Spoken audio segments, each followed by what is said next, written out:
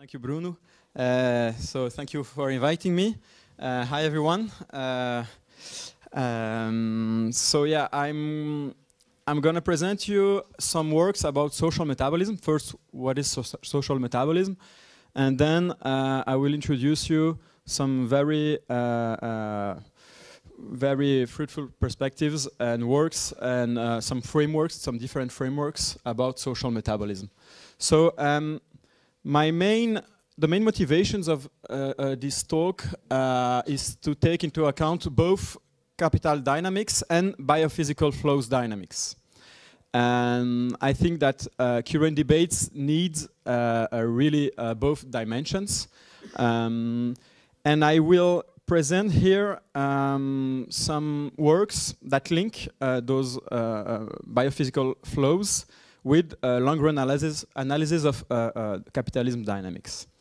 And I, I, also want to highlight some uh, interdisciplinary works that combine social metabolism with political economy, environmental history, political ecology, and so forth. Actually, I began with the first point, so let's say uh, in 2017, uh, I come from uh, a Marxist tradition, and uh, uh, I will uh, show you the regulation theory briefly, which is inspired by Marx. And so I began to, to, to, to, work on this kind of topics, so linking material flows analysis for a long period with the analysis of capitalism. Um, but now, uh, for uh, four or five years, I began to um, focus more on uh, uh specific material flows and to link those uh, uh, analysis of more specific material flows to, uh, uh, to link that with environmental history, uh, political ecology, and so forth. So I, I, will also show how to bring uh, uh, this social metabolism concept and framework to sociology, uh, environmental history, and so forth. So those are the main goals of this presentation. Um, and yeah, we will discuss that uh, later. I hope it will be clear. If, if, it, if it's not, just like ask if there is some concept and something, some definition missing. Um, the, the, the, the sound is good, yeah? Okay. So basically, I will, I will start with uh, ecological economics, um, which has emerged in the in the 60s uh, uh, against, let's say, the neoclassical framework, and the um, the main point, of course, was that the uh, neoclassical framework, which you all know, I guess, uh, had no material flows. So it was uh, uh, describing and analyzing the economy by analyzing only uh, uh, financial flows and uh, let's say consumption, investment, the, the, the, the, consumers, the state, and so forth. And um, they, a lot of physicians and biologists also they thought that was a bit uh, stupid since the si economic system was a part of uh, uh, uh society and a part of the biosphere, in, in, in, embodied in the biosphere. And this is the main um, the main move they they they did actually. So this is like let's say. Uh, of course, this is very schematical, but the, the neoclassical vision of the economy, so only with uh, uh, uh, uh Uh, uh, financial flows between uh, here consumers and firms and so forth. And here is, let's say, the, the, the biophysical vision of the economy um, with the economy embodied in, a, in an ecosystem uh, with uh, energy flows here, uh, recycling, and material flows here, which, which are indicated. So this is a completely different vision of one economy. In, and in, instead of counting uh, dollars, uh, you count tons or joules or uh, other physical units. And that was super interesting. I could talk about that for a long time. Um, some some authors are, are, well known. I guess you know maybe Georgescu Roegen, which come from uh, physics and which applied uh, uh, some uh, second law of thermodynamics to uh, uh, this system. So this is really a systemic approach. That, that's really important. They see the economy as a subsystem of a more um, a, a larger system. And um, they had really this, this vision of the economy, let's say, as an organism, you know? And that's really important. And this comes from uh, uh, um, uh, a change in the, in the, the, the, the uh, ecological science itself. In the, in the ecological science, there, there were uh, uh, new researchers, and, th and this vision was becoming dominant with uh, uh, uh, like thinking an ecosystem. The, the, the words say the the, the, the vision itself. So thinking of, of an organism as a or, or, or um, um, let's say an environment as an ecosystem, a system and that that was uh, uh, really important. And there are now uh, really interesting works in environment history and showing uh, like the, the, the, the, novelty of this vision, which, which was not the case before. Uh, the, the environment ha has uh, uh had another, uh, various um, conceptions before that. So they, they, they, come, they came from uh, physics, biology, ecology, and they applied all those um, tools to the economic system. Well, and they have this concept, which is the, called the metabolism, uh, and the metabolism comes from biology, of course. So the, the metabolism is defined here uh, like the process by which an organism builds up and maintains its structure through exchanging energy and materials with, with its environment through its life. Okay, so that's come from uh, uh, uh, biology. And when they, they, they call that social metabolism, uh, I read here again, uh, social metabolism is the key link between society and the natural environment. To reproduce its biophysical structure, society requires a continuous flows of energy and materials that need to be extracted from and eventually released to the environment. So when they add the quote social uh, word, uh, of course it means that uh, uh, society is there and it adds it must add, let's say, social relations or something like this. And then the last, yeah, the, the last point, uh, social metabolism refers to the set of theories and methodological tools that allow analy analyzing a society's biophysical behavior. And uh, here I mention two authors which uh, uh define social metabolism, uh, uh, Marina Fischer-Kowalski and Weiss. And they are Austrian, and they have now a collective book, and this comes from the, the collective book called Social Metabolism. Uh, no, soci socio-ecological metabolism. I don't know. I, anyway, I, I, have the reference. And so now it's not only the, the, the, concept, but it's uh, whole, the whole framework and uh, like, like they say, uh, the whole uh, set of methodological tools uh, that I will present in a few minutes. Now, if you uh, have one an example. This is uh, one of my favorite example, and uh, I know Gilles uh, uh, knows it very well. So this is the metabolism of Brussels in the 70s.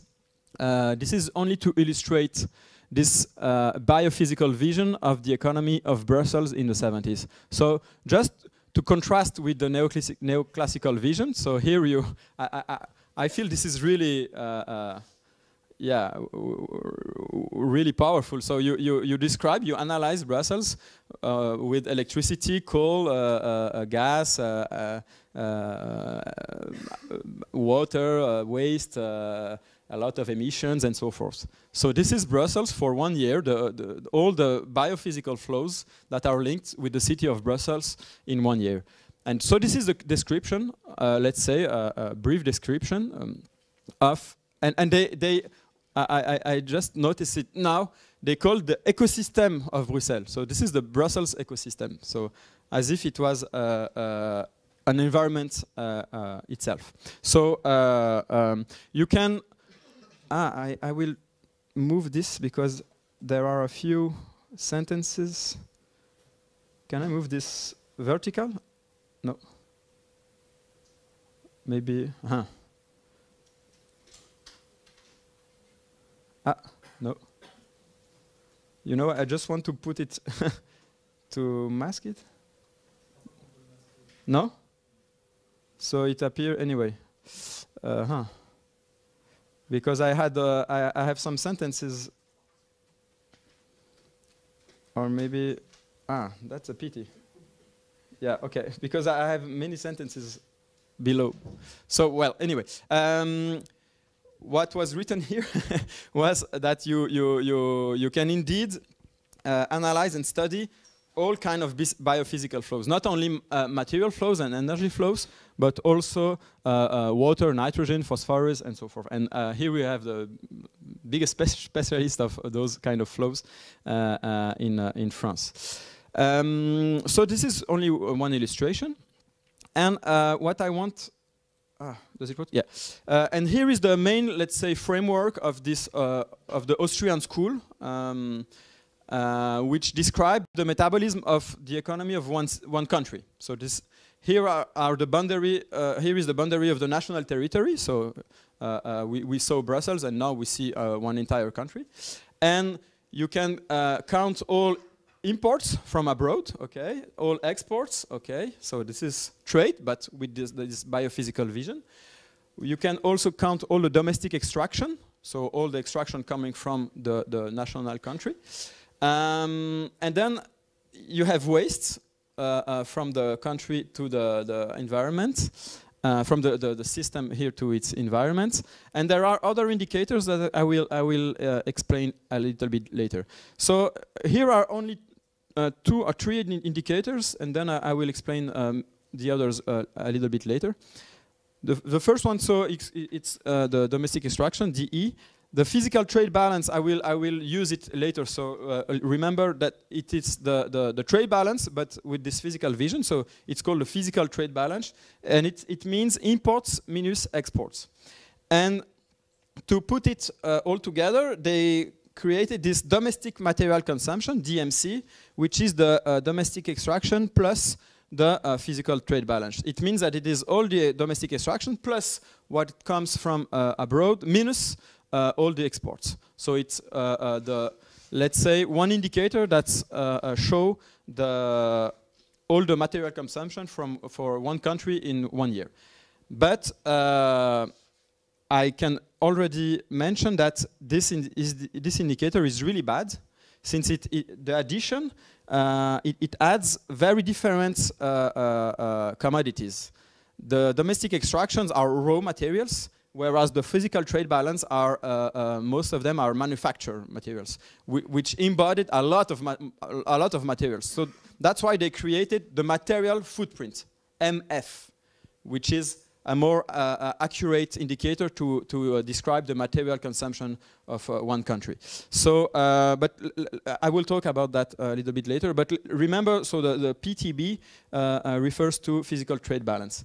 And I, I, won't use the DMC here, but I, I, I, well, so I, I, I can mention, and it's a, an interesting fact, that for many years, this was the main indicator for the uh, uh, European Union to describe the, uh, the materiality of one country. So they, they had um, dematerialization goals for the Euro European Union, and they, they were using this indicator, which is really bad. So to, to, to, to decrease the DMC, you just uh, uh, have to decrease your uh, uh, domestic extraction and import a little bit more. So you just uh, offshore a lot of industries and you will dematerialize. Since you do not take into account the imported hidden flows. That's the main point. So this is quite important. You know, when, when you, you those indicators are never neutral. And when, of course, it's it's still useful for some reason, and it's still and and it's very uh, uh, um, easy to to to calculate, uh, and that's the reason why they they use it for uh, so many years. But uh, uh, it was a, a, huge problem when the the 2020 uh, uh, goals uh, for the dematerialization goals for the European Union was, was were using this DMC indicator. This is only one example, but all, all those indicators can be very problematic because they frame the discussion, you know? You, you, you, you, you, you, you will optimize and we, you will try to optimize one indicator uh, uh, without thinking of what, what is invisible there. So that, that's the point. I, will, I will describe all these indicators later in my, in my, my presentation. So this, this was a first introduction. Um, now, there are, I, I, I, have this, this really brief summary of what can you do with uh, uh, uh, uh, social metabolism and where is social metabolism compared to other, uh, um, let's say, frameworks, theoretical frameworks in economics. So if you don't have any biophysical flows nor power relation, then you are doing neoclassical economics. Okay, that's like uh, uh, what they do. So this is number one. Then if you add uh, biophysical flows, but you are still thinking using the neoclassical tools, you are basically doing industrial ecology or ecological modeling, and this is now now becoming the mainstream today because it's it uh, uh, it's uh, uh all the the green growth uh, discussion, all the uh, circular economy discussion, and so forth are, are exactly here. They don't care about power relations, let's say. They don't care about capitalism. They don't care about other social relations and power relations. Okay. then there is also, and that's really interesting you can also have a, a, a, um, a, framework with a lot of power relations, but without any biophysical flows. And that, that was the case for the, the orthodox Marxism and also for regulation theory, which I, I knew uh, uh, a few years ago, but also for, uh, for the sociology of Bourdieu. Bourdieu uh, uh, develops uh, really nice works. I, I, I, love his works, but about old a lot of different uh, social relations and uh, uh, social fields and so forth, but there is no biophysical world in this in this analysis, in his analysis. And uh, there are others uh, uh, structuralist frameworks here, which only analyze the the the, the world through social relations, and that's it. Material don't don't don't don't count. Well, and social metabolism is supposed to be here. So uh, I, I, I, say it's supposed to be here because um, the, Vienna, the, the, the, Austrian school, which developed the, the, this concept and this framework, are not so much taking power relations into account. They say they, they do it, but I, I'm a bit, yeah, I'm, a, I'm all, it's a, a yeah, they, they don't do it very well. They just say, yeah, there, there is capitalism and so forth, but they don't, don't explain how. How uh, uh, uh they combine, uh, how, to, how uh, to combine power relations with biophysical flow. So they are something, some, some, somewhere here, let's say. It's of course schematical. But then in the fourth, in the fourth position, there are a lot of works and very different works, of course.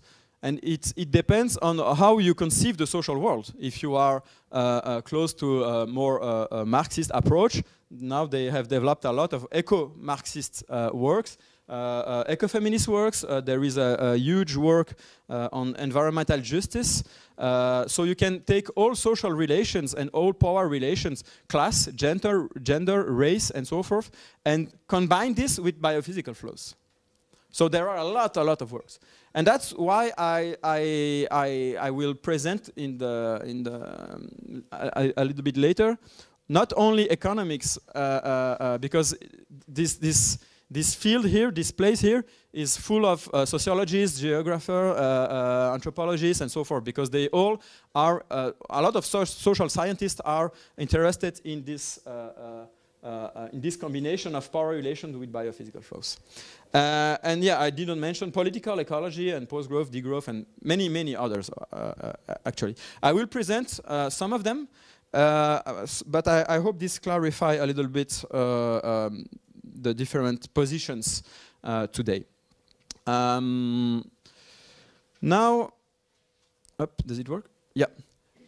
Uh, here is one example, and this is the most famous example, I think, of uh, industrial ecology. Uh, so they they they mapped the the industrial uh, city of Kalundborg in Denmark, in I think it was in the beginning of 90s or late 80s, and they so this and they mapped all the the sectors. And so here there is a, a refinery, power station, a municipality, cement industry, Gyproc, and so forth. Anyway, a lot of uh, firms and all the biophysical flows uh, uh, uh, between those firms. And what they did is to optimize those flows. So they, they, they, they took a little bit of, uh, uh, I don't know, waste from here and uh, used it for the fertilizer industry, and uh, they used the, the, the heat of the, this industry to, to, to, uh, to another industry and so forth. So they, that, that was the, the, the, the goal of this, uh, um, the conclusion of this work about the, the, the Kalundborg. And it, I, I just present it because I think this is still the, this is the mainstream today on uh, uh, environmental issues. So th this is how they conceive environment. So as a, and we can say this is the metabolism of Kalundborg, of course. you know, so this is to say that here you you don't see any uh, power relations, you don't see any institutions, any actors, any uh, social groups, uh, and so forth. You know, you can map the environment like this, and you will only see, you will only uh, uh, uh, um, have a good description of, of those flows, but without thinking why they are there. Wh what is the, the why there are uh, a cement, uh, what, what's the history behind this scene? What are the power relation behind here? Where are the workers? Where are, uh, and so forth. So you have many questions which are not uh, in the picture. And they, they do, they uh, uh, uh, Uh, uh, uh, they they proceed in al always in the same way. So they analyze the metabolism and then they, they want to optimize it. So they they look to the future. They don't don't look back. So how did how did we get here? That, that's not a question. So so where we want to go. But I think I think it's quite problematic because since when you, you don't know how you, you, you, you, you, you, arrive, you, you get to this uh, situation, uh, uh, it, it, it's kind of uh, uh, difficult to see uh, where to go. Um, so, well, so this is, I, I, I call an apolitical, which is actually very political, but a vision of the environment. Well, now to criticize my, my my home country, let's say, uh, regulation theory, which I, uh, I liked a lot uh, uh, in the past years. Um, so I, I, won't, I won't describe all the regulation theory, but um, I, I, I, I adhere a, a, few years ago to, to, to, this, to this framework, which conceived the, the capitalism uh, um, uh, by uh, five or six social relations uh, including the state. So the state as a social relation, of course, the wage relation, uh, the, the, the, the, let's say uh, uh, uh, trade relations, and so forth. Money relation. So that's the, this this conception of the the capitalism was really helpful for me, and I still think it, it is. But here, if you see like the description of the Fordism epoch in France, with those five big uh, social uh, relation. He's, here is the wage relation uh, uh with the compromise uh, with, between capital and um, the labor. here is the state and so forth. I, I won't describe it, but it, it's, it's really, yeah, it, it, for me it, it was it, was astonishing because there is no material at all. No one, there is no, not even one gram or one ton of nothing they just don't care. so that's that's crazy when you think about Fordism and all the coal and all the, the uh, later the, the, the the oil and many other materials, of course, uh, cereals and.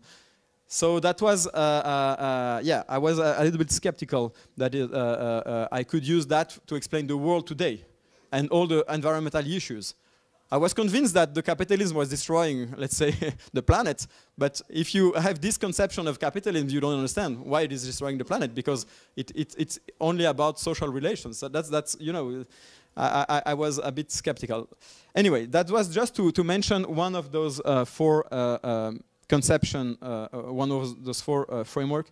And here, yeah, this is uh, one prototype of, of this analysis uh, of uh, capitalism without uh, any material flows. Well, but then for a decade now, a little bit, a little bit more, 20, 20 years, let's say, uh, there are a lot of uh, Marxists doing uh, great jobs, uh, and I won't uh, present all of them.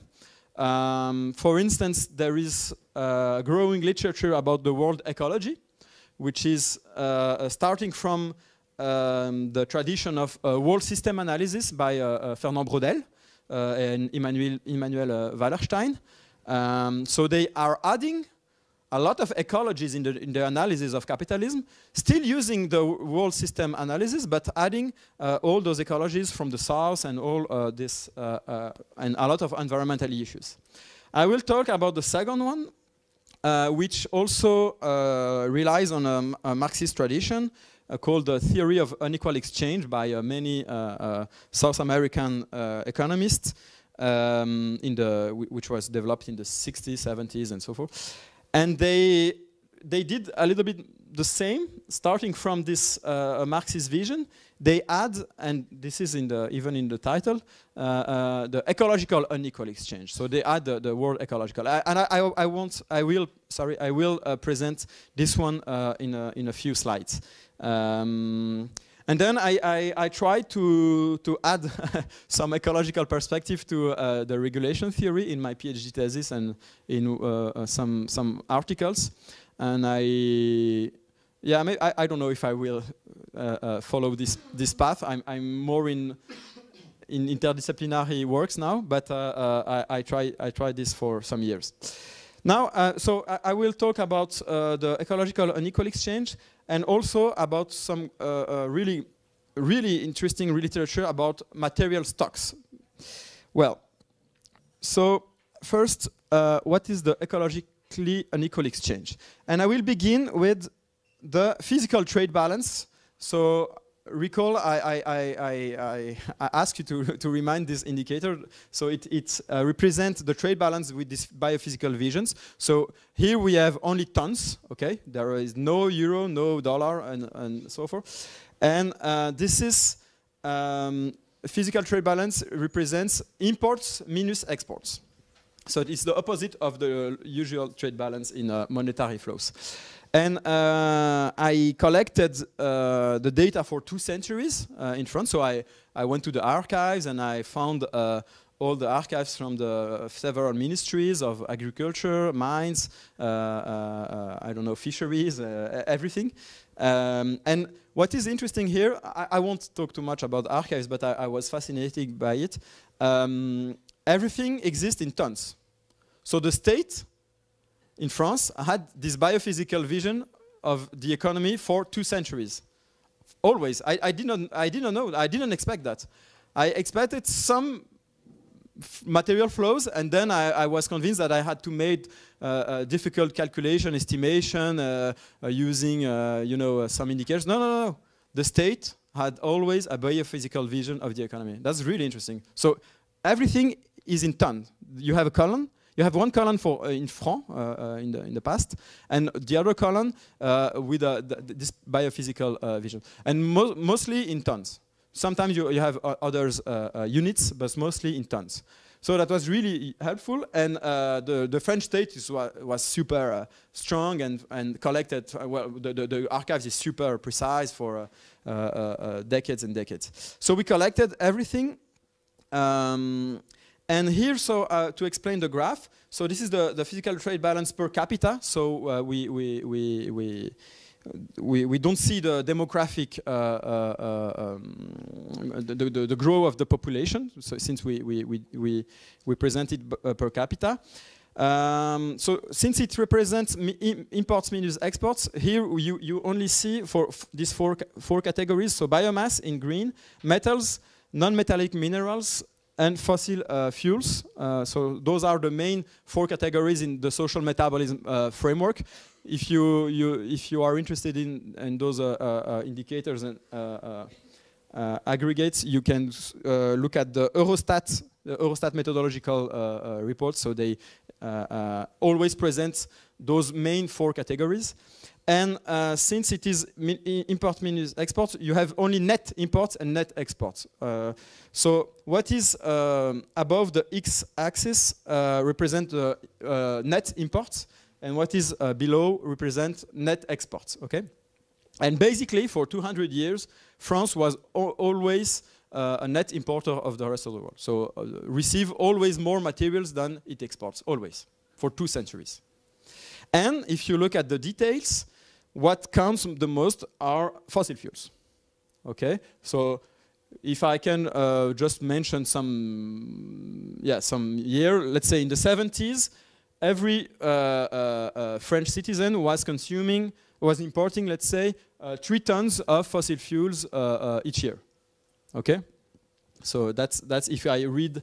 this is 75. So if I read this point, it represents all the fossil fuels. So three tons per year for each French citizen. And what you see is that now uh, nowadays uh, the France economy, French capitalism is importing everything but biomass. It is exporting a lot of biomass and cereals. Um, but the picture uh, was uh, quite uh, surprising for us um, because we th there is the same work for uh, the UK. And if you see the same physical trade balance for the UK, you will see a, a huge uh, uh, uh, um, huge histograms below the x-axis, which represent coals, coal. So uh, the, the, UK was exporting a lot of coal during the 19th century. So for some decades, the UK was exporting more than importing, for instance. This is not the case for France. The, it is the same for the US. The US was, for some decades, exporting more than it was importing. So our thesis and our argument was uh, uh, the, the, the, the we, I, think this is the, the title of our article, the, the, the, French, the French parasite, okay? So uh, it's a, a, kind of parasite uh, absorbing the material of the, of the rest of the world for two centuries. Well, so uh, now that I have presented the physical trade balance for France, uh, yeah, here, here, here is a, this is a, ah, you can see anything, sorry. Well, anyway, this is just to, to, mention that uh, here I, I, collected the, the details for fossil fuels, so only for fossil fuels, the imports, which is, was the most important for the Fordism, which regulationists don't care about. so uh, uh, uh, it, it, it reached uh, uh, more than 100 millions for, um, in, the, in the 70s. And what, was import what is important, he important here is in the 60s, okay, I, I will just describe the graph because since we don't see anything, but in the 60s, the, the, the, the, oil was imported from Algeria.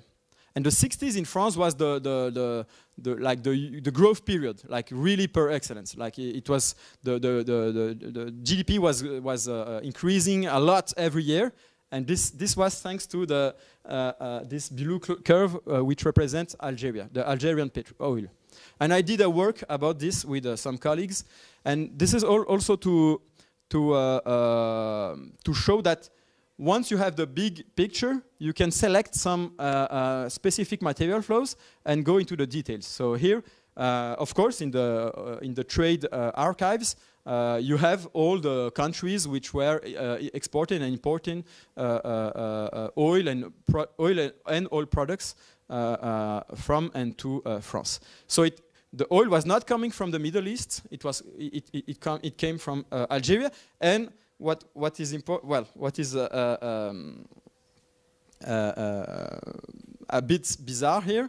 It was it's that the the oil was imported after independence of Algeria, and here this represents the nationalization this uh, strong degrowth of the uh, uh, of imports of Algeria oil from Algeria. This is due to the, the, the nationalization of oil in 71 uh, in Algeria. And then, then uh, Saudi Arabia and I think uh, Iraq. So here are the Middle East countries were dominant afterwards. But so this is also to mention this dimension of uh, uh, um, this is one dimension, a classical dimension of the uh, ecological unequal exchange. Well, here is the same uh, awful graph. I think it's really ugly uh, from uh, these uh, those uh, uh, colleagues from Vienna, and they, they they they they presented the physical trade balance for Japan. And Japan is is a bit like France, but it's really an island, so it's like a total parasite. It's, it's never, there is never uh, net exports. But those are really uh, uh, uh exceptions uh, in the world. If you look at South America, so here are, again, I, I, selected the physical trade balance because we can discuss a lot on, only with this indicator. So here are the physical trade balance for all countries in South America. And I, I won't describe all of them, but you see usually that the, the, the, the, the histograms are below the x-axis, which means that they are exporting all, the, all, the, all their material flows. So uh, uh, except, I think, so Brazil a lot, Bolivia also, Costa Rica, which is a really small country, is a bit different. Salvador also is a really small country, so it's a bit different. Ecuador is exporting a lot. Venezuela is exporting a lot, and so forth. Uruguay, Peru. Well. So you have the opposite. You, we, I, showed you Japan and, and France, and here you uh, uh, have all those countries. So this is uh, for the 20th century for all those countries. And, um, and of course, this is linked to, and this is well known, and this, uh, you can link that with the, the, the, um, the, the unequal uh, exchange, the eco economic uh, equal exchange, and the, the theory of dependency of the uh, Uh, South American authors in the 60s. Uh, this is extractivism. Th these are, uh, uh this is really uh, well known. They are just exporting raw materials with very little um, va value added. Of course, the, the extractivism changed over the time. Of course, it's not like always the same. So in the in the 60s, for instance, uh, South America was exporting uh, uh, material flows uh, mostly to the, to the US. In the 2000s, it was a little bit more to Europe then you, you see that uh, uh, uh, Asia is importing and importing still more uh, material flows from uh, South America. And in the 2000s, here is uh, 2016, China is really absorbing all mat material flows from South America. And this is, um, there is a huge literature about neo-extractivism, showing that the dependency is changing. It's not, it's not uh, uh, um, of course, it's not uh, uh, only with uh, Europe or the US. And they are. They even talk about the Beijing consensus. So there, there was the Washington consensus in the 80s and 90s, and now there is the Beijing consensus. so they are exchanging with China and hoping to benefit from from it. So this is only to mention this new literature, which is, you know, uh, analyzing a, a little bit more, uh, uh, uh, more precisely, let's say, how, we, how the extractivism is changed because it's not a fixed configuration, of course.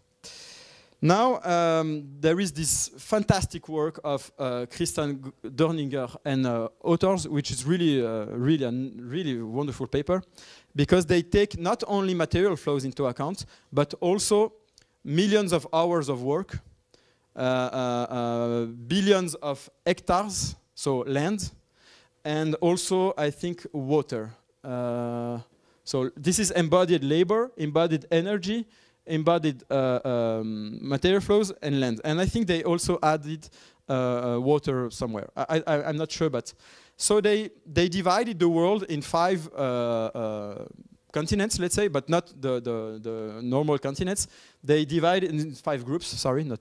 Um, so high-income countries, uh, low-income countries, uh, uh, middle-income countries, let's say. China, which is uh, uh, like uh, one group alone, the red one, and so forth. So I, I won't describe the whole, they, they work, it's really great.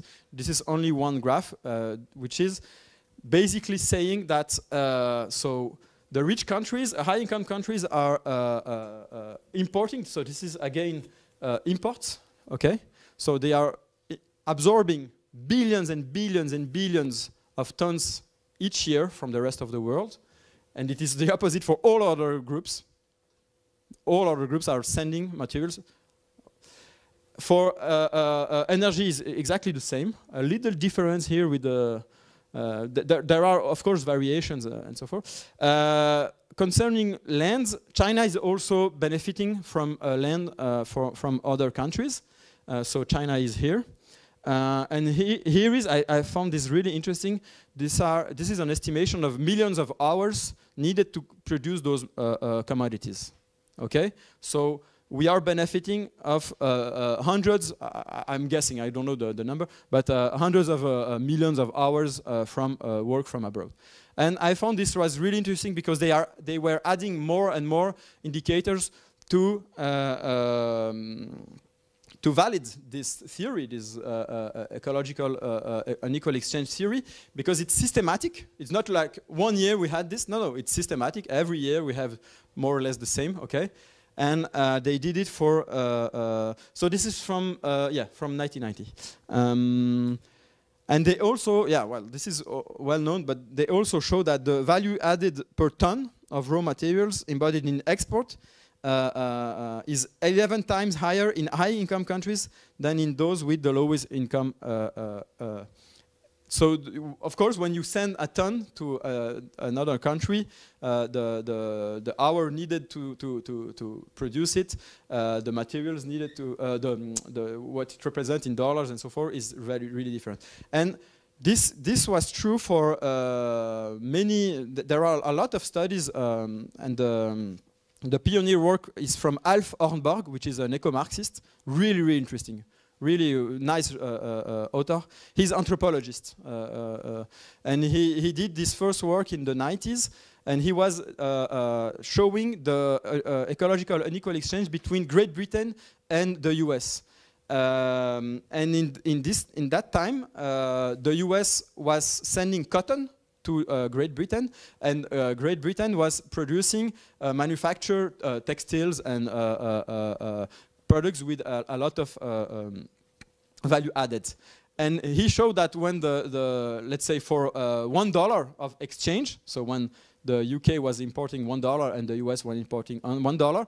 The, the, the, uh, uh, uh, they were embodying uh, very different uh, tons uh, of work, hours, and this was slavery work actually, work done by, by slaves and so forth. So he was he was adding in this small in this small article. Is, this is an article from '98. I, I have the reference later. And he was showing with uh, one, one, uh, uh, with one in this article, with this example of the cotton and the textile industry, uh, the, the, this combination of biophysical flows with power relations. Because he was talking about slavery, he was talking about capitalism developing uh, uh, in the UK. The, the, the, textile industry in the UK was like the, the core of the capitalism in the, beginning, in the beginning of the 19th century. So it was really, really important. And they, they did calculus. Um, he, he, he, did not, but other, other, others uh, uh, calculated the land needed to produce all the cotton that was consumed by the textile industry. And there was not enough land in the UK to produce all this cotton. So it, was not even possible, you know. So that, that's really interesting. Like there, there was not even uh, uh, land enough to to uh, to uh, to produce all those, those textile products. Well, to sum up, um, the thesis that asymmetric net transfers of resources, including labor, uh, as I said, and others, from peripheral to core areas of the global uh, uh, economic system. So global south is, uh, of course, uh, uh, fueling the global north growth. And that's systematic, that's a structure of the capitalism for centuries. and of course, it's changing. Okay, it's not always true for every country in the world. It, there, there are a little bit of change, and we need, as social scientists, we need to explain why it's changing, of course. But uh, still, it's really, there are a lot of empirical evidences. And still today, of course, it, it, it didn't change. So that, that's really, um, yeah, here I, I, I, this is accumulates Uh, uh, uh, flows that high-income countries absorb from the rest of the world. So they, they absorb more than two billions of tons of, 200, sorry, billions of tons of materials from the rest of the world. So, so this is net, net import. Well, now um, you can link that. This is to now. This is this was, let's say, uh, an eco-Marxist explanation of capitalism. So this was really uh, still in the economist tradition. But you can link that with uh, political ecology, and you can link that with, uh, uh, uh, let's say, environmental sociology. And I found this, is, this was very interesting, and there is a growing literature in the South America, for instance, which is linking environmental, co environmental conflicts to uh, those uh, to the system to the, structure uh, of the, the, the, capitalism.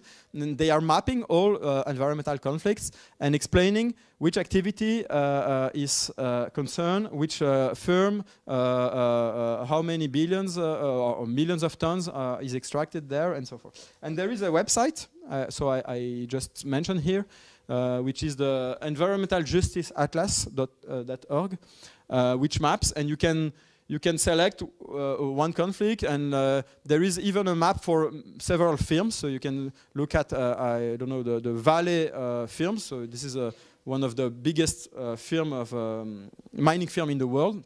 It's a Brazilian film, and you you can so also select all the, the conflicts associated to the valley. And so they are uh, uh, thinking of uh, the, the, let's say, the structural conditions of those uh, environmental conflicts. And again, you can uh, think of those uh, uh, conflicts uh, through uh, gender, race, and so forth, because uh, usually minorities, classes, women are more affected by, than others by those um, activities. So there are really a huge literature um, on environmental justice that you can really associated to those, the study of the uh, social metabolism. And I need to mention also Juan Martinez Alier, which is really inspiring researcher. Um, with and he, he yeah, he and his team in Barcelona, they they uh, they implemented this atlas, and he he bringing this uh, new uh, aspects to the to social scientists in the late 80s. So Juan Martinez Alier. Well, no, so th that was uh, one interesting literature, uh, the ecological unequal exchange. But now I want to talk a little bit about material stocks, which were absent for decades of the, the from the social metabolism uh, framework. So if I if I if I come back to my my uh, to this to this uh, uh, picture, so I did not mention in the middle the socio-economic stocks. And what are those, uh, uh, uh those stocks? Uh, they are uh, human artifacts, so buildings, roads, machines, and so forth. And what they find um, in the in the recent papers when they were uh, studying, so this is the, the, global domestic extraction, so this is uh, all uh, uh, material is extracted in the world, so there is no import nor export, of course, so this is global. And they find that the, the, the most important material flow was non-metallic minerals. And this is mainly sand and gravel. So the most important material flows on Earth is sand and gravel. And they, it was not the case in the past. It was not the case in the 50s uh, or 60s. And uh, here the fossil fuels, yeah, sorry, it's a bit bizarre because usually fossil fuels are uh, gray, but here they are uh, uh orange. Uh, and fossil fuels are, are also increasing, of course, but not that much. So what the main fact, material fact in the last century is the growing extraction of sand and gravel. And actually, uh, whereas biomass and uh, fossil fuels are dissipated. Yeah, sorry. Sand and gravel, yeah. Sand, sand and gravel, yeah. Sorry, my my English is really bad at Friday afternoon. I'm I'm so tired. Um, and so the the if you look at the percentage of the uh, uh, extraction uh, of um, of construction materials in the beginning of uh, the 20th century and uh, 2015. So it, it, so this is the percentage. So this is a relative part. It grows from 18% uh, uh, to 55%. So most of the uh, material flows today are sand and gravel, so 55% of the total. And yeah, whereas biomass and fossil fuels are dissipated, because we consume it and it, it doesn't uh, uh, uh, um, it, it, it, it, doesn't last for they, they, say usually it doesn't last for more, more, more, than one year. Sand and gravel remains. And so they, they thought about to think about stocks. And if you think about all the material stocks, so again, all the buildings, all roads, all the infrastructure, uh, all the machines and so forth, the growth uh, uh, of the material stocks is more uh, uh, more important than the, the growth of uh, um, material flows, the, the, annual extraction. So this, you see, this is a modeling because it's it's too smooth, um, but they modeled it like this and uh, you see really a, a huge exponential. Um, and so I, I, read it for you. So this the, the, categories are aggregates. So this is sand and gravel. Concrete, which is sand and gravel. Asphalt, which is sand and gravel with bitumen, but it is mainly sand and gravel. And then you have a little bit of bricks, a little bit of wood, glass, but really uh, this, this, is the tiny, tiny uh, uh, uh flows, uh, stocks here. So the world is made of sand and gravel. And there was a paper in 2020 uh, showing that human-made materials now uh, outweighs Earth's entire biomass. So there, there is more human artifacts on Earth than forests, and all uh, trees and all animals. So th this is this is this is what it means. And um, so I was I was of course uh, surprised, let's say, and. Um, and they were also, and they, this is really recent, they did, they did it, so this, is, this paper is from 2019, but th this literature began maybe in 2010, so it's, it's really a, a recent uh, uh, topic.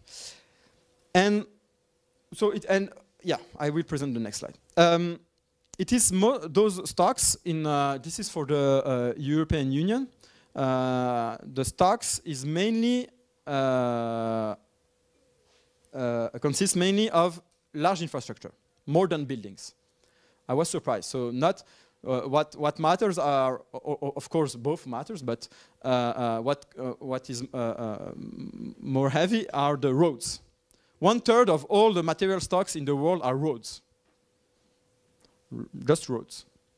And if if you look at the European Union, here they they counted it, and so yeah, I, I it doesn't matter. The, the, but the roads are more uh, uh, important than the buildings in the uh, European Union. And here we are just talking about roads, not airports, not the harbor, uh, I don't know, trains, high-speed trains, or, or, other other infrastructure. Uh, yeah, the railways. Yeah, the railway is here, but it's not uh, not so important. But what what what changed when they they added the material stocks is the vision because they put it in the in the at the core of the, the, the analysis and you see all the inflows coming into the stocks and all the outflows uh, uh, uh, which are uh, uh, produced by the stocks. And this picture was really incredible. Well, it changed completely my work um, because I saw that the expansion of the, stock, so all the flows that create new stocks, new roads, new buildings, and so forth, represented in the European Union uh, 700 millions, okay, let's, uh, let's say 700 millions for uh, 2009. And the maintenance and the replacement of the exist existing stock represented more than 1 billion and uh, 200 millions.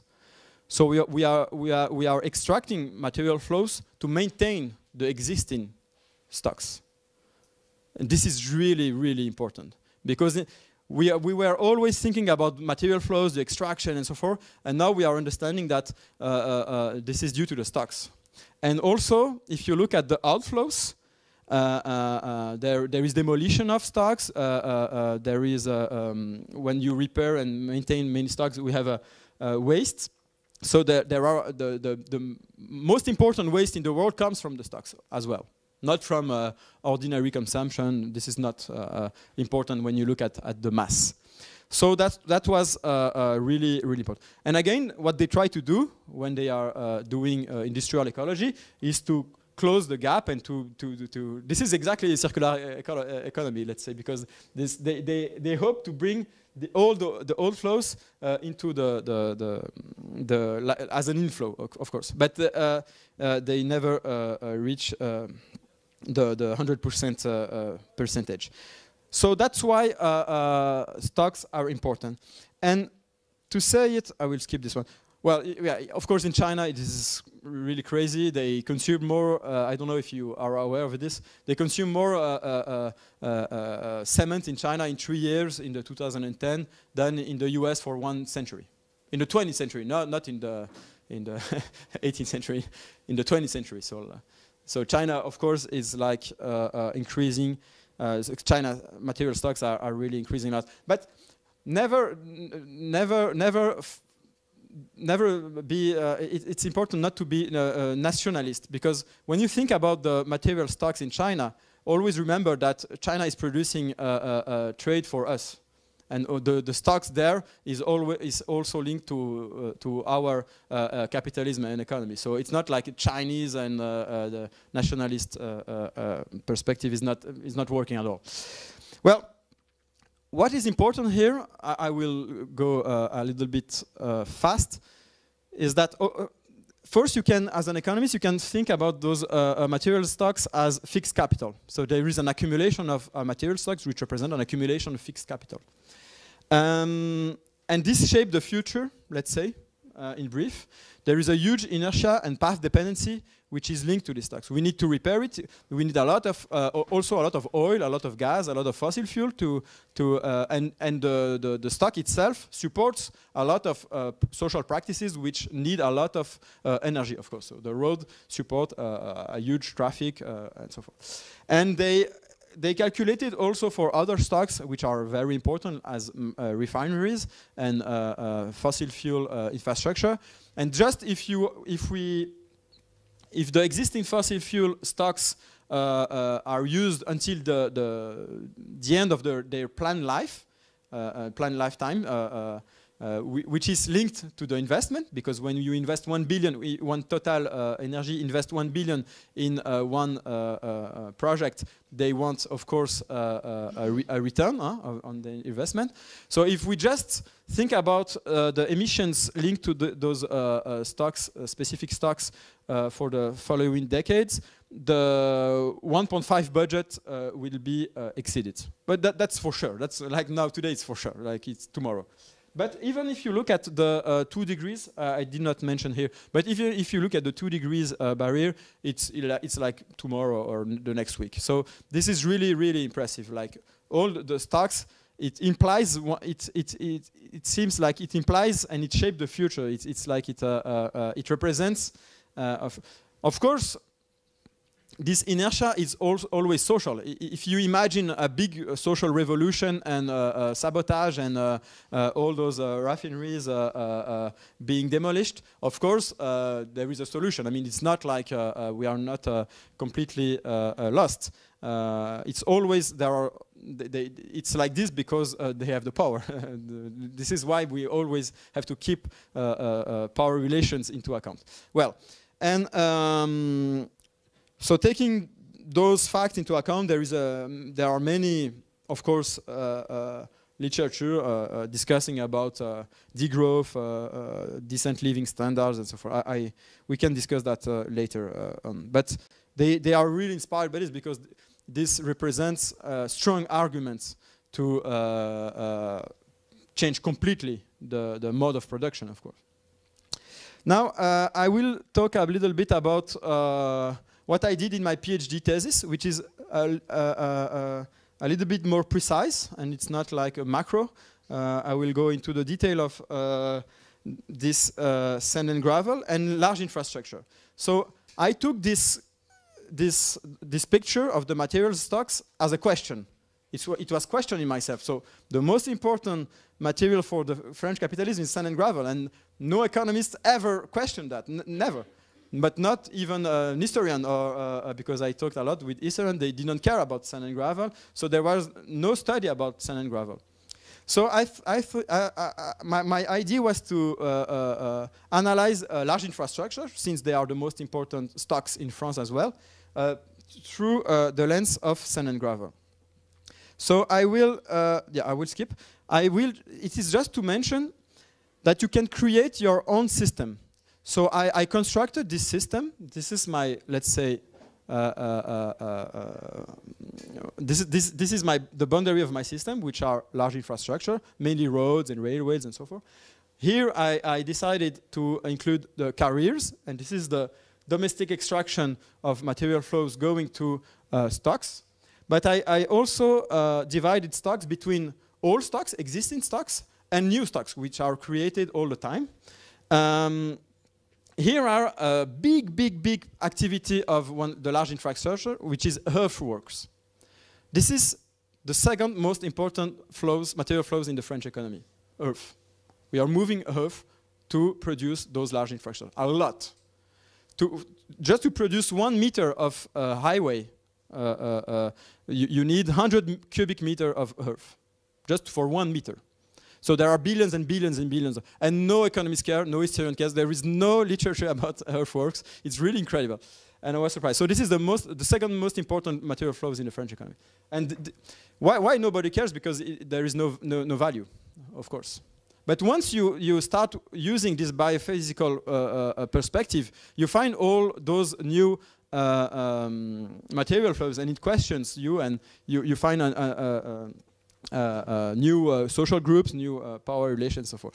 So, but of course, those this earthwork remains in the the system because it stays in um, le chantier, comme on dit, in the I forgot the workplace. Yeah, let's say. Um, it's the workplace of the infrastructure. Is the word, no? Chantier? Nobody, nobody knows. Yeah, construction site. Yeah, that's good. And if, if you are a Marxist, you can, you can think of the construction site as, uh, uh, I, I, I, thought about that, uh, as the, um, the industry. Marx uh, said to escape from the alienation of the, the commodity, which invisibilize social relations, which are uh, uh, uh, embodied in this in the commodity, you need to you need to enter into the industry, into the firm, to see the exploitation, to to see the value added, and so forth. And let's say it's, it's just a comparison. Here I, I, I went into the uh, construction site to see this place, uh, which is quite invisible because we only see the, the infrastructure, infrastructure once it, it is built. So I, I, I went to this uh, construction site. I, I, won't explain how, but it, through archives. Uh, and I found like billions and billions of uh, uh, cubic meter of earth and 20 billions of sand and gravel. And then I found also, but I won't talk about them today, a lot of waste, a lot of hundreds of millions of waste uh, which are uh, uh, used into the infrastructure.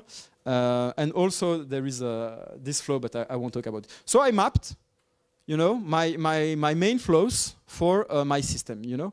It was not exhaustive, it was not perfect, it was only to uh, start uh, working with uh, these flows. And once you get that, you can find institutions, social groups, uh, the state, uh, the, the, road administrations, archives, the protests, the difficulties, and so forth. So you, this is really interesting to, to, to get to conflicts and to social aspects because all, there are always uh, social groups which are uh, controlling those flows and uh, extracting and managing those flows. So you can always uh, uh, find debates about uh, between them and about those flows. So this is like a small summary of what I, I did.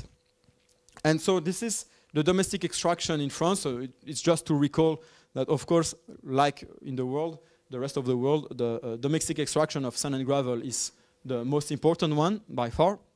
Uh, um, this is per capita. So uh, there was, it was multiplied by seven uh, in the during the Fordist period, and then it, it's quite stable with uh, some uh, decrease and increase, and it's about six or seven ton per person per year. So every French citizen is consuming six or seven ton of sand and gravel for 50 years. so it's quite a lot.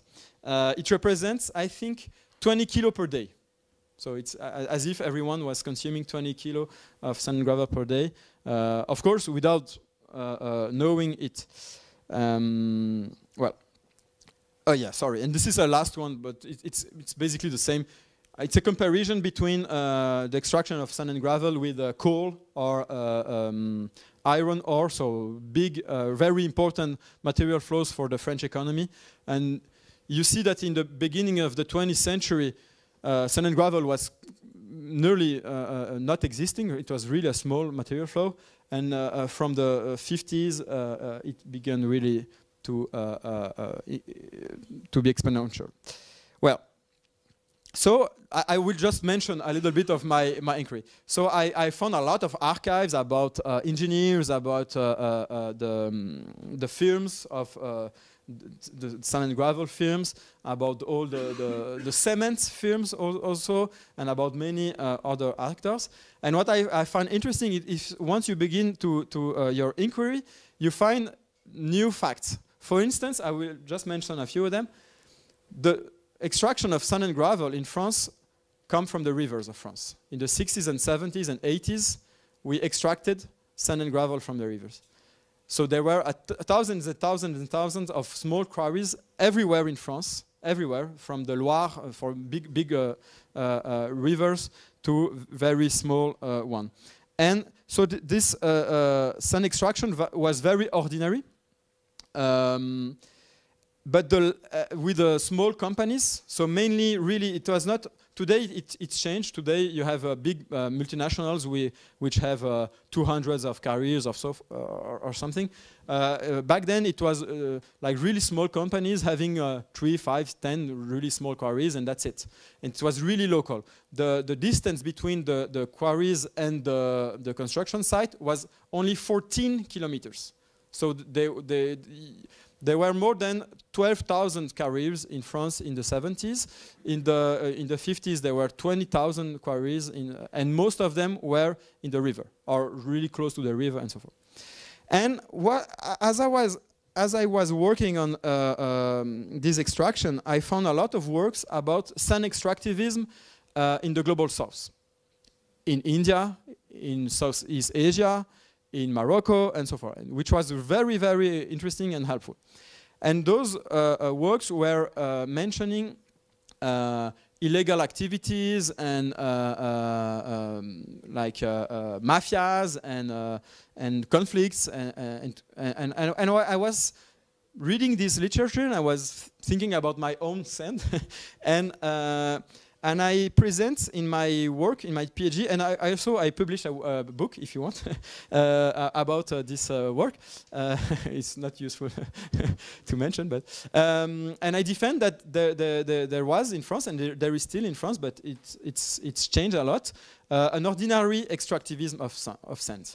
Because I, as I was thinking about this extractivism in the south, and I was reading about the uh, rates uh, the levels of the extraction uh, uh, abroad, I wrote that in the Mekong in today. So this is the extraction dredging of the Mekong today the rate, so this is the rate between the um, natural sediment coming uh, every year into the river and the extraction, the rate is about seven. So today in Mekong they are uh, extracting seven times more uh, um, sand and gravel than the natural flow.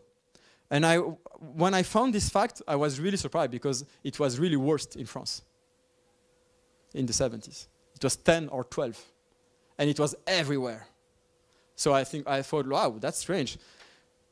But it was really usual. It was ordinary because small companies, uh, uh the, the value added is, is really small. It was not illegal, but there were conflicts as well.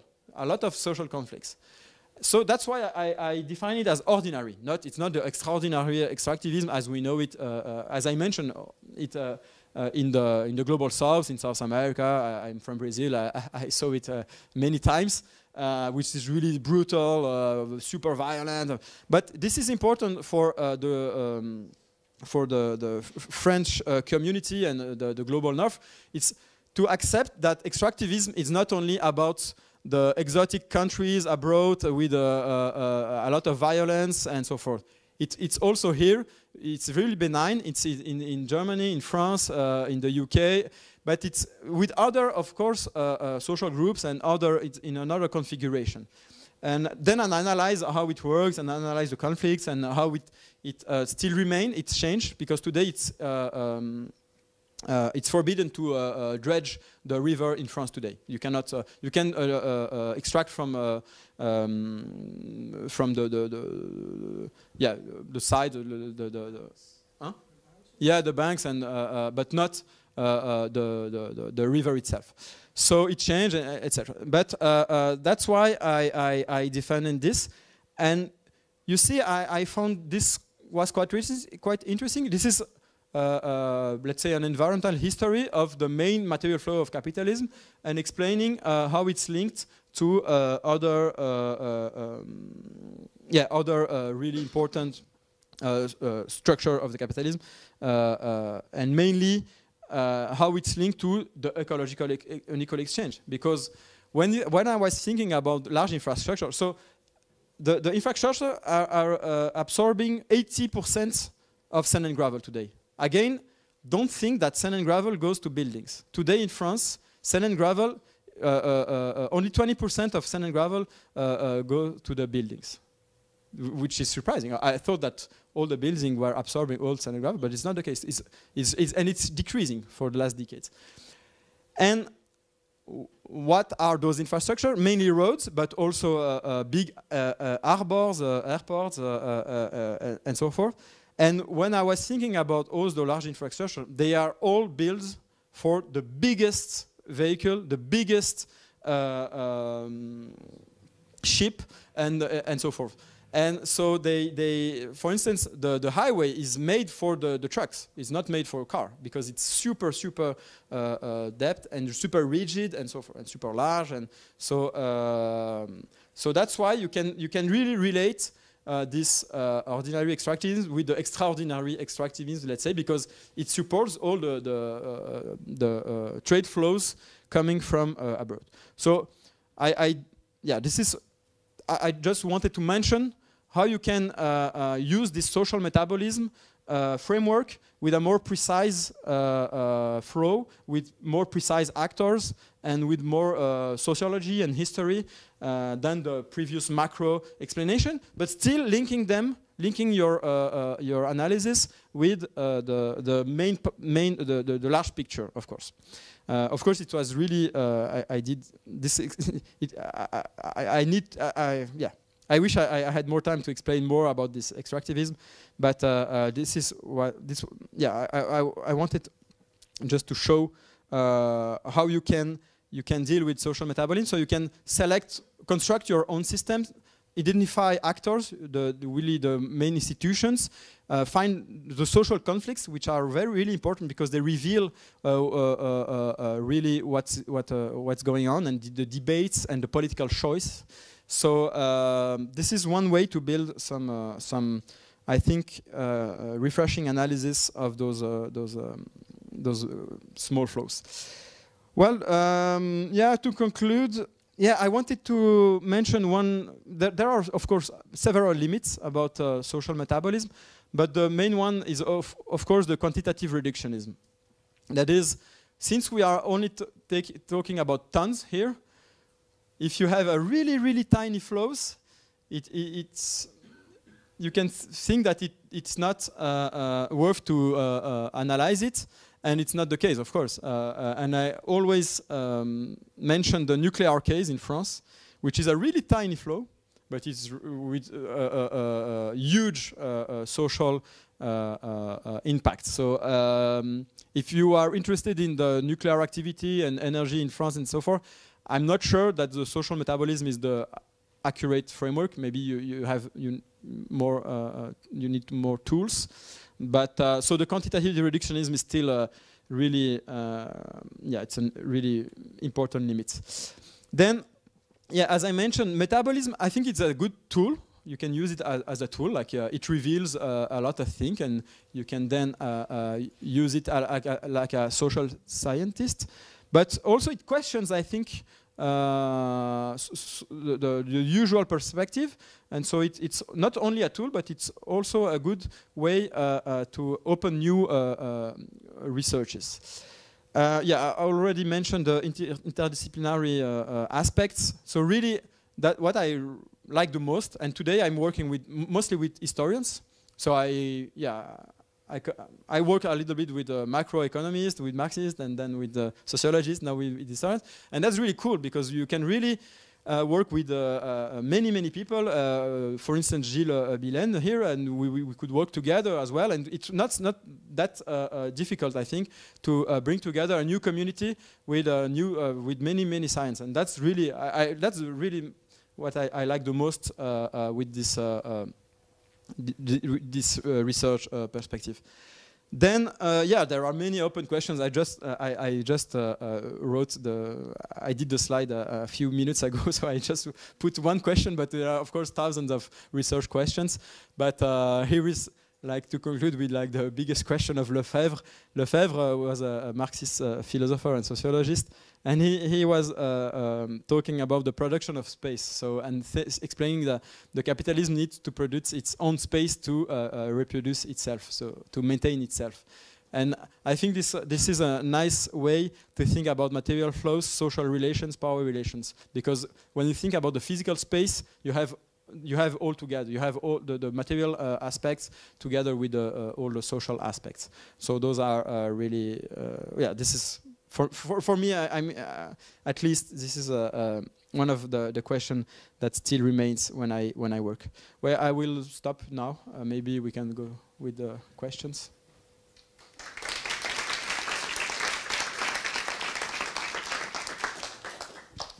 Thank you very much, Nell. It was really, really fascinating. So let's go for the questions. We have one here, there. Hello and thanks for this presentation. It was really uh, interesting.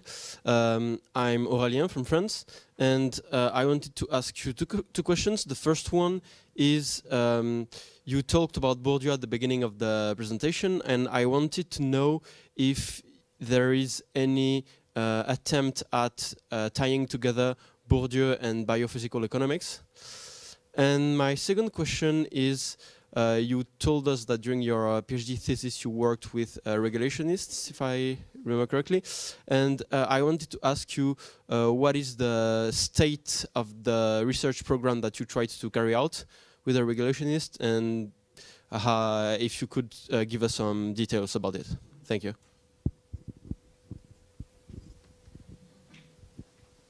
Thank you for the presentation. Friederike from Germany. Um, I have a question regarding the data for uh, biophysical flows.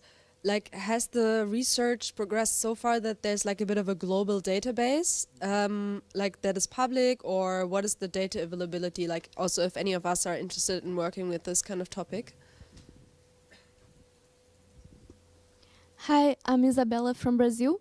And I was really interested about uh, what you said about inequality of stock, and I was wondering, like your view, if uh, like on the how to maintain the stocks of roads, if it, it's possible to have like degrowth, for example, in Europe or core countries, and like still maintain those infrastructures. I know, very ambitious question. I wanted to know your opinion.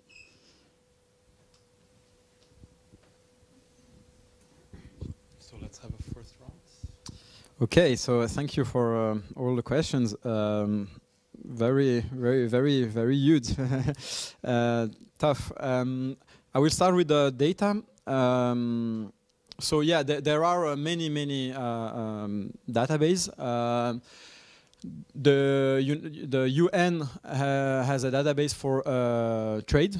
It's called the Comtrade database from '62.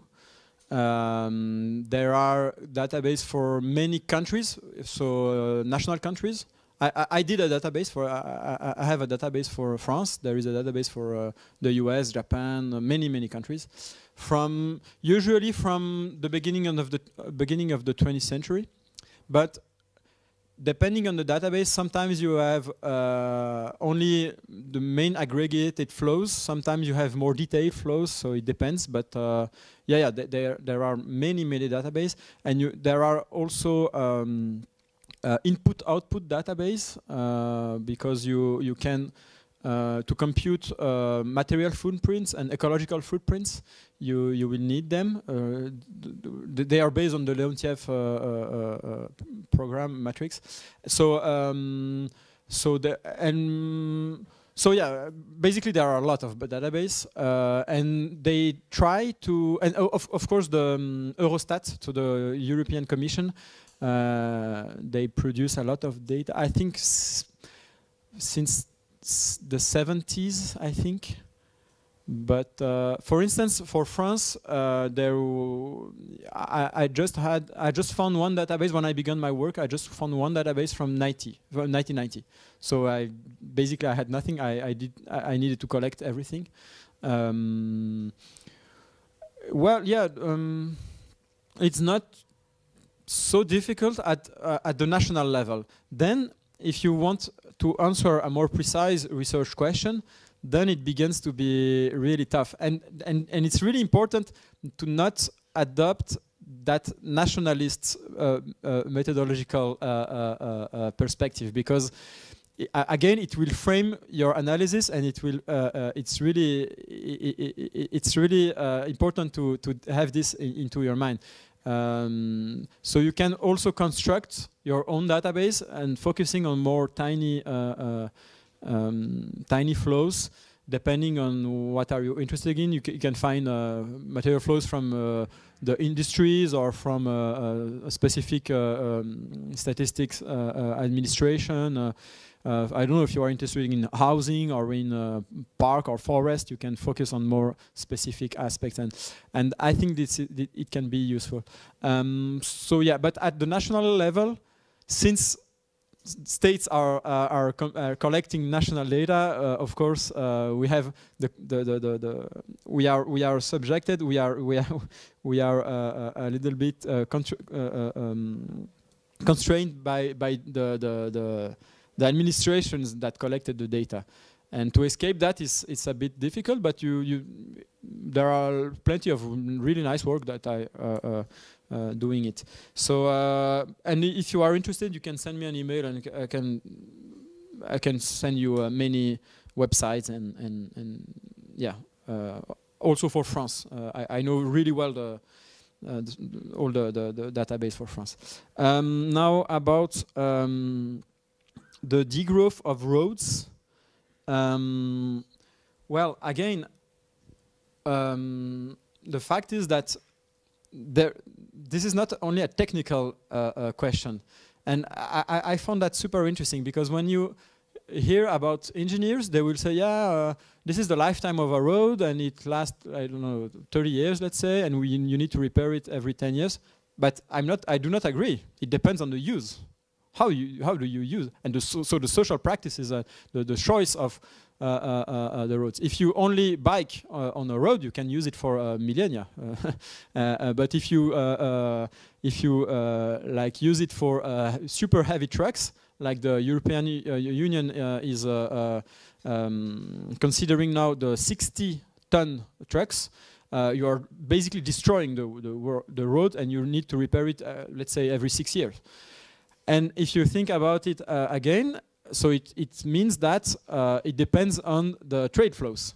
So again, it depends on free trade, and it depend. This is the super uh, uh, global structure that I I, I, mentioned here uh, uh, for a while, uh, which is really like the most important one I think in today capitalism, world capitalism. Um, so you have to question free trade and diminish the, the, the, the imported trades, and and it means uh, produce uh, uh, uh more goods here and uh, uh, exports less cereals and change the agriculture. So of course th th those are structural questions and not only technical ones.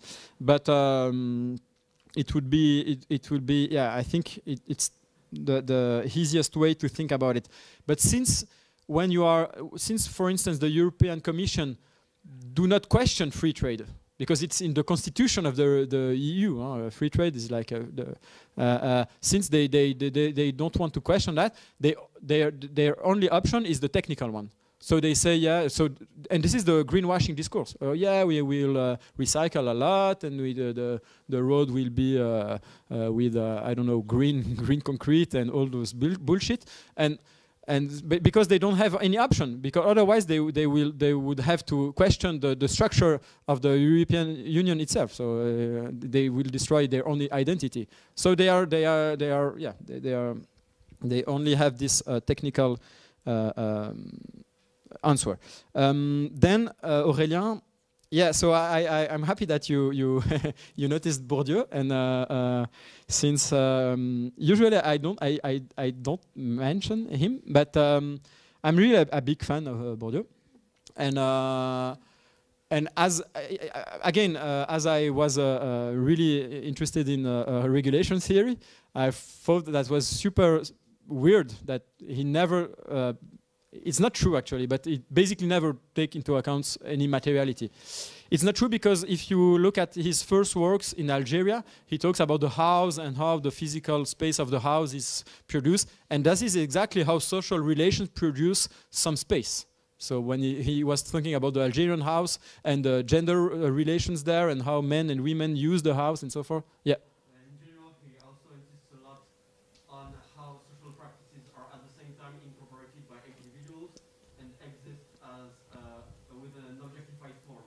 Yeah, yeah, and and so I, I can mention, and I found that a few years ago, and now I'm really really psyched about this because I found one small text of Bourdieu which is called Effet de lieu.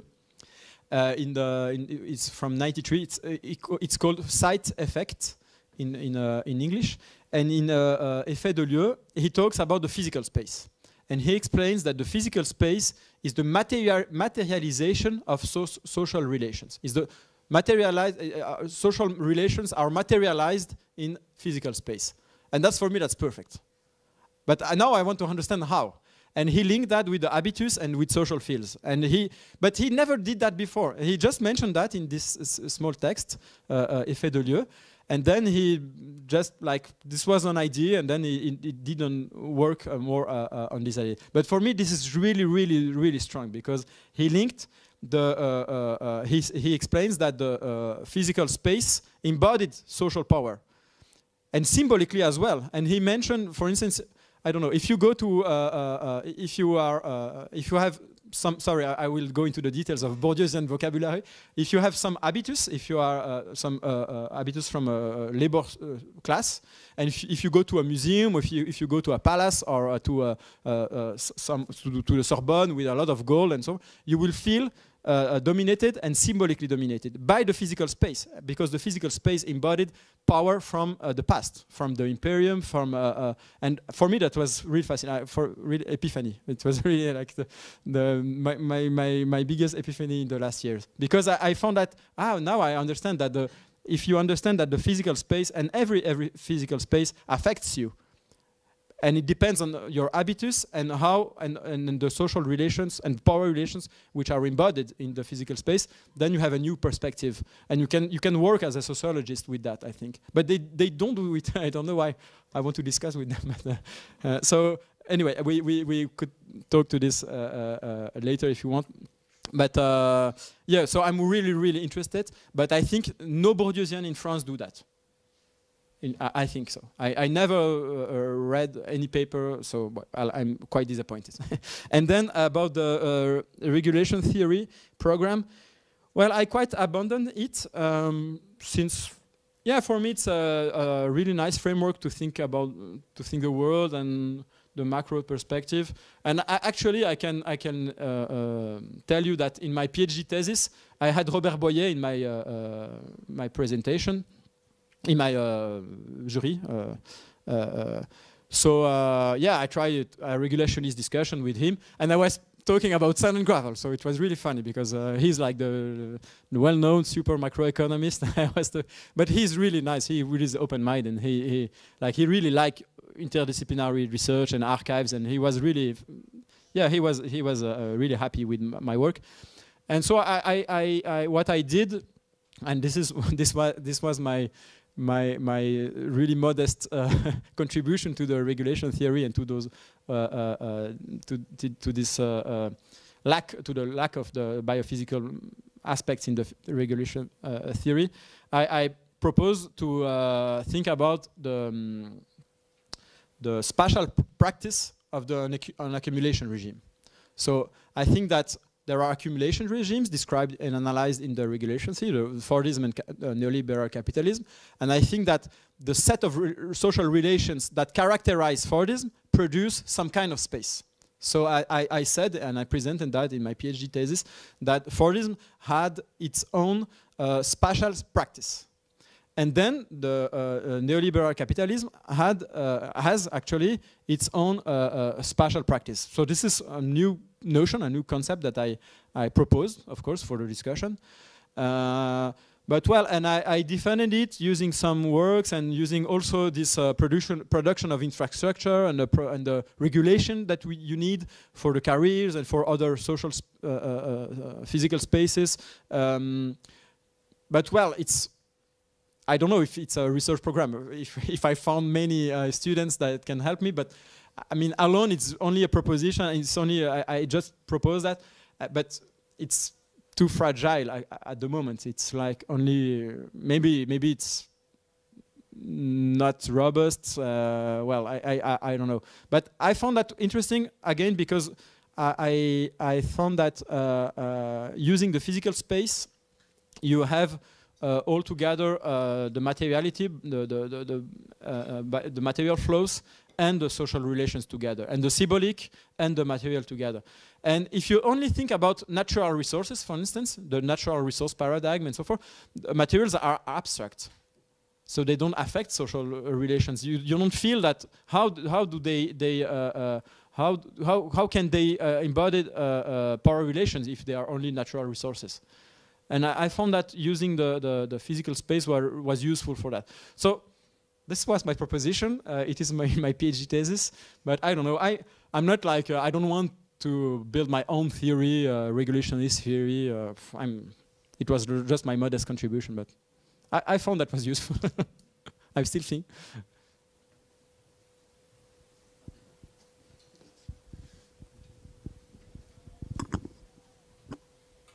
Hello, I'm Andresa from Brazil. Thank you for the presentation, uh, very interesting. Um, I wanted to know more about the policy implications of uh, ecological unequal exchange. I think for this problem, uh, the neoclassical economists would say that we need to internalize the, the external, uh, negative externalities. Maybe the industrial ecologists would say uh, we need to do stru structure uh, change and move to industry, be less uh, dependent, dependent on uh, export of uh, intensive natural resource commodities. So what would be the proposal for uh, by the, the, the School of Ecological Unequal Exchange? Um, yeah, basically this.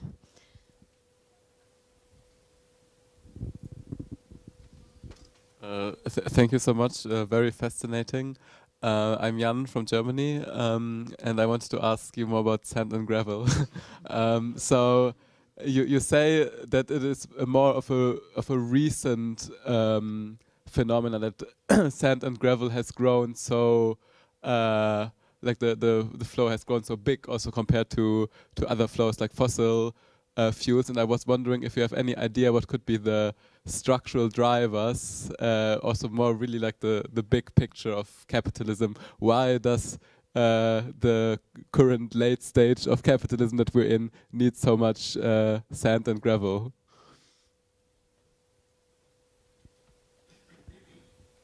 Hi, uh, my name is Dominic, and I'm going to ask you a question that's very different from the other two, which are already different from each other.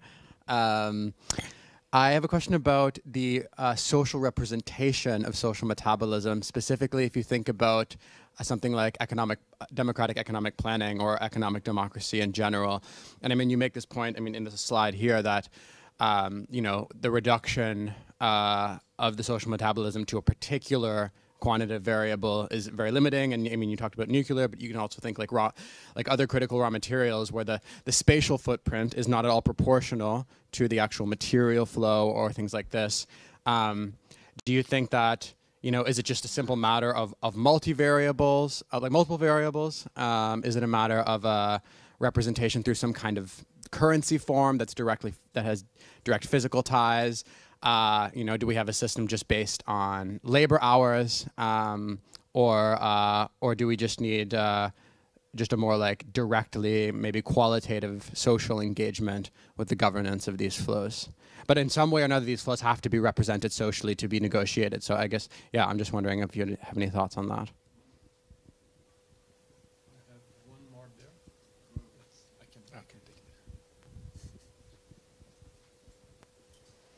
And then maybe we finish because I don't want you to miss your train. But can I have a very uh, final yeah. one? Yes. Hello, thank you. It was very cool. My name is Marie-Noël. I'm from Germany. Um, I have two questions, in fact. So I was surprised by the chart that you showed about uh, history of France and imports and exports of uh, material, and uh, that the bio biomass just increased in the in the last years. And I was wondering, like, I, I would have expected it to ha happen ha like earlier, like during the the second food uh, world or like world food agricultural uh, regime with more, yeah, where France was exporting more. And um, then the second question uh, regard. Um, I don't know if I understand you correctly when you were talking about stocks and uh, of material and uh, our our um, climate uh, our yeah uh, 1.5 target and uh, 2 point two two degrees target of of um, climate change. Um, is it because the the the stocks require the renewal, and um, if if so, uh, should the the the um, sorry the scenario buildings for the future, or will um, the IPCC and um, where we build modeling uh, models for the future um, take into account stocks um, and not only look at the flows of what nation, uh, nations contribute, but in, in terms of, of, of, flows, but also what nations contribute in terms of stocks. yeah. Sorry.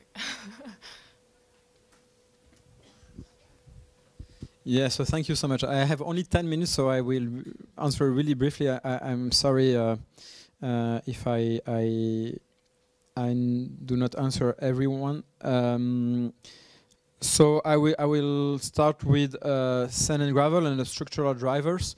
Uh, well, tough question, um, but there are several answers. You can uh, look at the David Harvey's tradition, which and the spatial fix uh, uh, answer. So in, in, David Harvey's conception of uh, capitalism, to avoid over accumulation crisis, you need to fix capital and it really means fixed uh, capital uh, um, to uh, uh so to invest a lot of capital uh, into some uh, infrastructure, let's say. So there is now a growing literature about this spatial fix, and with this ecological dimension and social metabolism, I can send you um, those articles. I'm not totally convinced. Uh, since I see large infrastructure, uh, large infrastructure everywhere and not really correlated with crisis. And so I think this is a super meta explanation, but well, it's a discussion, of course. Um, and at least they have structural drivers, so at least it's good for them. But uh, well, it's well, it's it's a whole discussion. Um, um, then oh yeah of course it's it's linked to uh, as I said the the fact that it does not decrease it's linked to rep uh, repair and maintenance. So even if today in France we do not build a lot of infrastructure we just maintain, maintain them all the time. Uh, and that's interesting because it's not directly linked to a structural uh, uh, uh a special stru social structure. Well it is but I mean it's like it, it seems uh, quite uh, technical and uh, um, due to the mass of the infrastructure. Then um, to, I want I will answer to representation and reductionism. Um, so well, yeah. Uh, you can add many other cr uh, criteria. Uh, for instance, for nuclear, you can add uh, uh, joule energy, and uh, you have our land, and you can you can think of. But it will ne never be sufficient for me.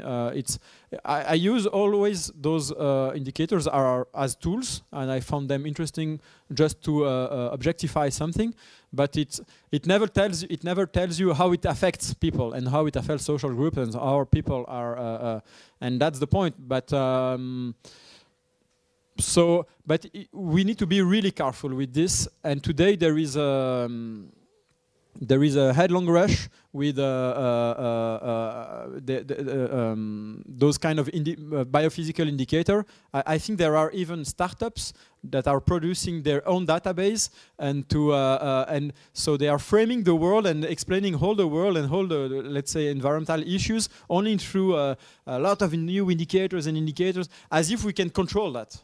And I can link that to your question about planning because uh, today in France, for instance, there, are, there is a, a socialist planning uh, proposition, eco-socialist planning proposition, and they are they want to use all these indicators as well, and saying now we want to have a biophysical perspective on, on the economy and to use uh, uh those uh, indicators, and I think there is a risk to be a bit naive and to, to think that, uh, well, uh, once, once we have a lot of indicators, uh, uh, uh we will, uh, the, the management, we, the governance will be super good and the discussion will be less conf conflictual. I, I, don't think at all. and I, I, see a, lead, a small danger to, to focus too much on this kind of representation. And you can really uh, uh, there is I forgot the name now, but there is there are there is a, a website.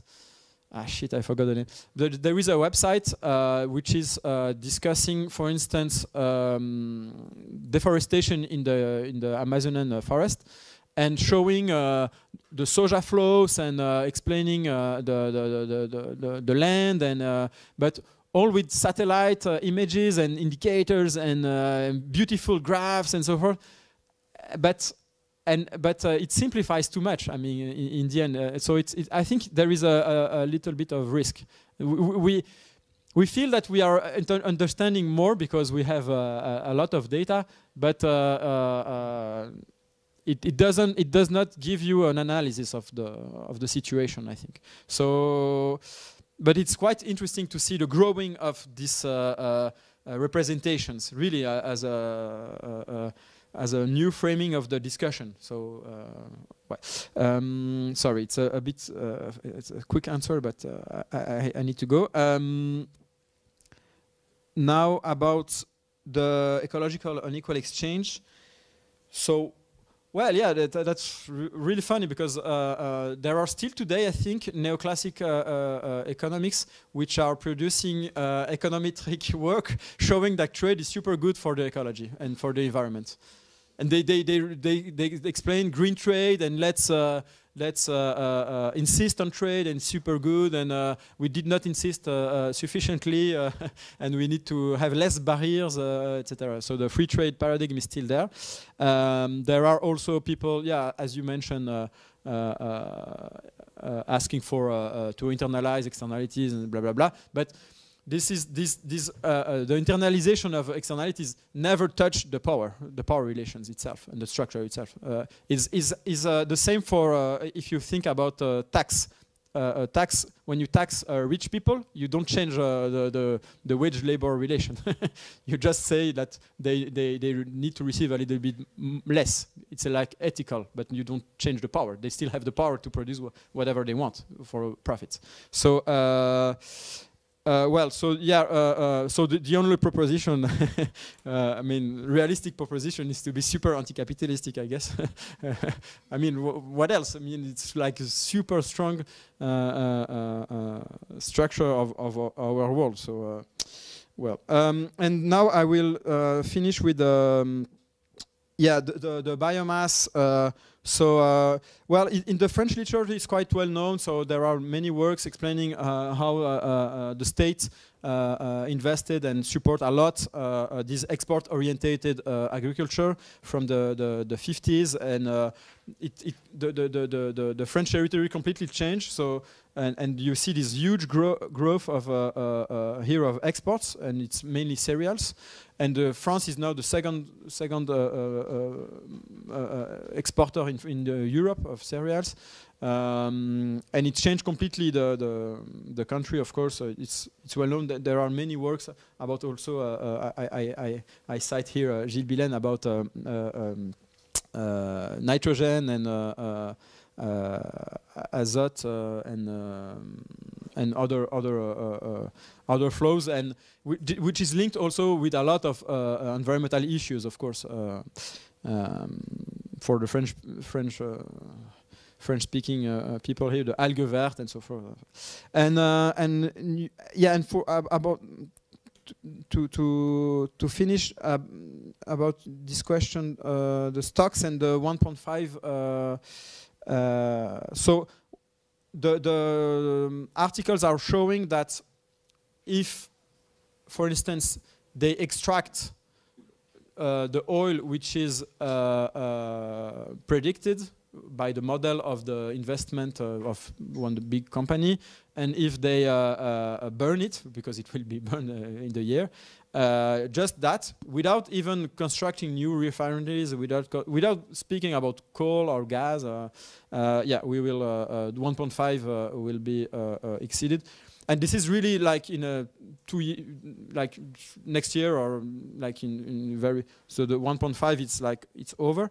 Then the two, there is a debate about the two degrees and. Um, your question was about models. If we, if we can add uh, stocks into the in the models for modeling the. the